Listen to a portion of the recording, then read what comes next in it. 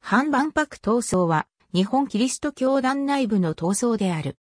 東京進学大学1970年に日本万国博覧会が開催され、日本キリスト教協議会とカトリック教会はキリスト教館を出展。これに反対する社会派と推進派の教会派の対立が激化した。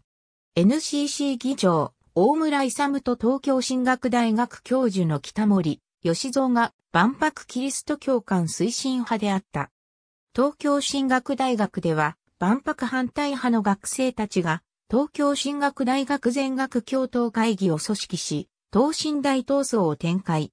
これに対し東進大教授会は機動隊を投入して社会派の学生を排除した。社会派と教会派の対立により、東京、大阪、兵庫の教区の総会は開催されなかった。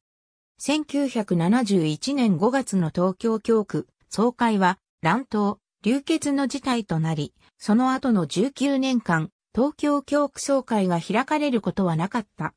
こうして、社会派主導の教団執行部と、教会派の等身大の対立が続いた。1972年教団問題協議会で、堀光夫は、私のはいわばイエス教です。革命家イエスです。政治の体制、宗教の体制、あらゆる体制に反抗し粉砕するのがイエスの目的とするところで、私たちはその精神に立つものですと説いた。岩井健作は、伝道は強制拡張主義であるとして、教会派を非難した。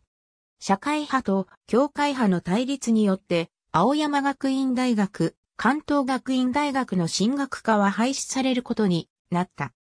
土井明夫、歴史の証言、日本プロテスタントキリスト教師教文館、日本キリスト教宣教師命の言葉社、東京進学大学全学共同会議、知せる言葉の終焉等身大闘争の記録、東京進学大学教授会、等身大紛争記録、小谷康夫、日本伝道論教文館日本キリスト教団資料。ありがとうございます。